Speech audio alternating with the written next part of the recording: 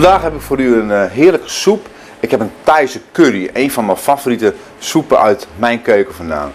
En eh, wederom een recept die, wat heel ma- makkelijk te bereiden is. Wat hebben we ervoor nodig? Een bouillon. En deze bouillon heb ik wel zelf gemaakt. Het is een gevogelte bouillon. Die bouillon gaat in een pan.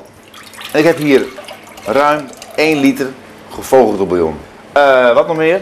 Een klein beetje slagroom. Een klein beetje slagroom heb ik het over een 3 deciliter. Shallot. Kijk, kan er ook in. Vuurtje eronder. Dit langzaam aan de kook brengen. En wat er ook nog bij gaat, is een aantal champignons. En een aantal is in dit geval 400 gram. Nog een paar ingrediënten die we gaan toevoegen bij de Thaise curry. Dan heb ik hier heb ik een stuk gember. En die gember ga ik in bakjes snijden. En dan gaat er in deze soep gaat 30 gram gember. En wat hebben we nog meer? Citroengras, oftewel seree. En die seree, die konten, die gaan we kapot maken. En dat doe ik met een steelpan. En die gaan ook in de soep. Kijk. Wat hebben we nog meer? Een limoen. Het sap van de limoen gaat ook in de soep.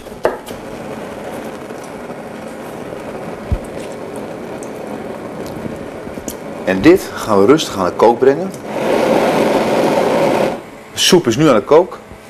We laten nu alles een klein uurtje langzaam trekken. Ongeveer een uur later ziet het er zo uit. De soep is een beetje ingedampt. En de citroengras, de seree, die kan eruit. En waarom haal ik het er zo voorzichtig uit? Omdat ik de soep ga fijn pureren. Champignons en zo, die gaan we fijn malen. Maar dat citroengras moet niet mee in de, in de blender, in de pureermachine. En wat haal ik er nog meer uit? Eh, dat is die gember. Deze soep gaan we pureren. In dit geval pureer ik hem in deze machine. Deksel erop. En draai maar.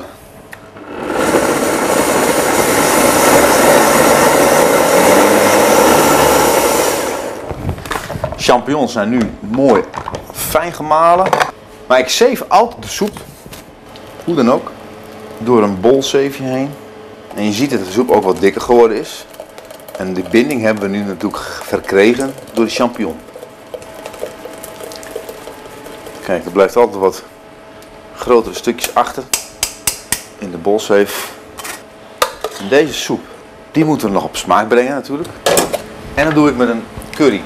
Een currypasta, die bestaat natuurlijk uit verschillende specerijen. En die, die even goed doorroeren. Goed doorroeren, dat die curry goed is opgelost. Zorg ervoor dat die curry, die currypasta goed oplost. En dan gaan we de soep afmaken. Ik weet zeker dat we nog geen zout hebben toegevoegd. En dan gaan we de soep proeven.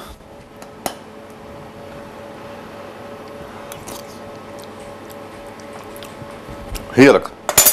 Echt een hele bijzondere soep. Met die smaak van die gember, eh seree, de currypasta. En alles op basis van die gevogelde bouillon. Opdienen in een, eh, ja, een kommetje. Een mooie kom. En dat garneer ik dan af met een beetje siso. Siso is een, eh, is een woord voor kres. Dat zijn hele mooie blaadjes.